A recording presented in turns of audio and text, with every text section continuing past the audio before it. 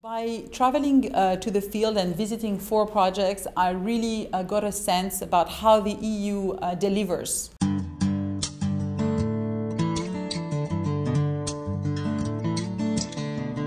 I work as information correspondent, which means that I um, help um, communicate on how the EU development assistance brings impact and results um, in sub-Saharan Africa. My work is mainly based in Brussels, but every now and then I get to um, travel to the African continent where I get the chance to visit projects and contribute and participate in the uh, annual seminar of the press and information officers that took place in Dar es Salaam in Tanzania. The main objective of this seminar is actually to share experiences, learn about best practices, so this is first of all a rare opportunity for uh, people involved in communication across the African continent to get to meet their colleagues and also to get to meet people from the headquarters. A lot of participants were very uh, excited and found that it was extremely useful and in some cases vital to, to, to have access to this network. And on top of that, we learned about really interesting experiences across Africa. Day-to-day -day advice to PIOs working closely with the media is uh, to start off by saying everything is on the record um, and slowly developing a rapport with journalists um, and finding out which journalists uh, you can work closely with. The Press and Information Seminar also gave us the chance to meet the head of the EU delegation to Tanzania, Mr. Filiberto Ceriani Sebregondi, and I actually got the chance to interview him. Actually, in the past 10 years, uh, Tanzania has had a growth rate of 7% of economic growth. And uh, this has been the result of many efforts by the Tanzanians themselves, by the policies that have been put in place in Tanzania, but certainly also by the support provided by donors, in particularly through the form of uh, budget support. The European Union is actually implementing a large number of projects in Tanzania, and I only got the chance to see very, very few of them. After this long trip, we arrived in the area of uh, Iringa and we visited uh, for a, a, whole day the Tea Research Institute of Tanzania, also known as TRIT. TRIT is a stakeholders-driven autonomous organization uh, set up to assist the Tanzanian tea sector through cost-effective um, uh, research and technology transfer.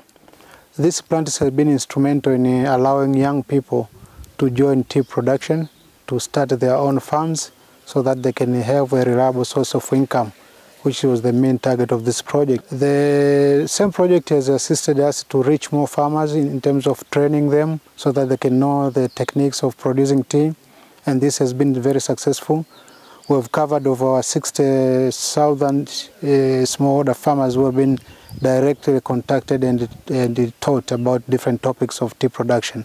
And that has helped them to be more productive and to know exactly how to grow tea. We have seen some impact caused by all this intervention, like uh, families getting reliable source of income, people are now affording to send their children to school, uh, people building new houses, and other direct benefit. We get a lot of satisfaction as researchers when we see the work we've done uh, transforms people's lives and improves their livelihood. And to us, I think no salary, nothing will give us satisfaction than seeing the farmers who are trying to help achieve the objective.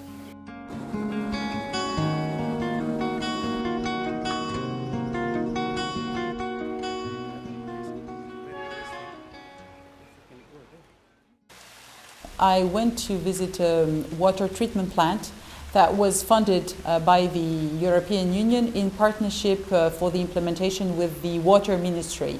And what was very interesting in this, uh, in this visit is that I got the chance to see the source of water before. So this is a clear case of what was the situation before with much lower capacity in terms of uh, providing households with safe drinking water to uh, providing access to water to a larger uh, number of people. It also uh, provides water to very poor uh, households in uh, places called the water kiosks.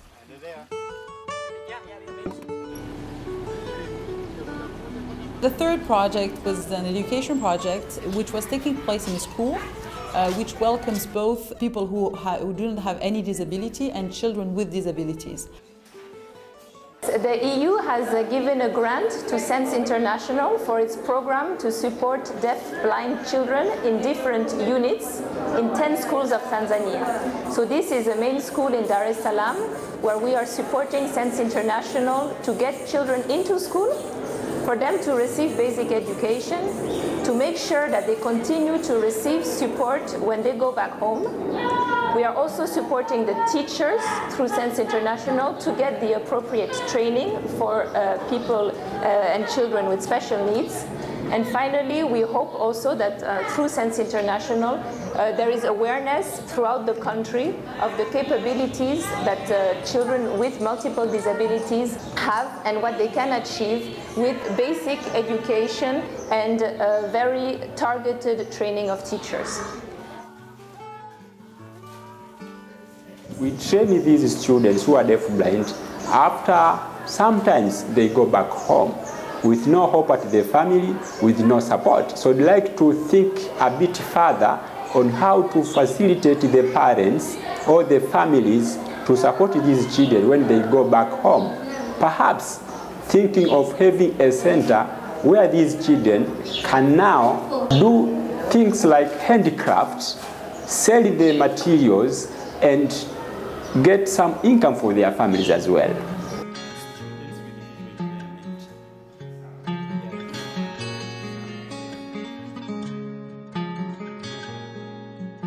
I also had the chance to uh, see an energy project. The interesting thing was that there were two separate technologies. One was geared towards urban use and the other one was for the, the rural areas but they are produced by the same company and the investor is actually a Dutch investor. So this is a clear case of uh, the EU investing uh, funds uh, in Africa and then uh, actually making a, a business and having an outreach the local entrepreneur was telling us that already 200 devices had been ordered by local farmers who are going to pay fully for the service and uh, who have actually saved money collectively to make sure that they are equipped uh, with this kind of device. So I thought that making this service available and helping farmers have actually the choice between using uh, non-renewable uh, energy or recycling their waste was a very interesting initiative, I thought.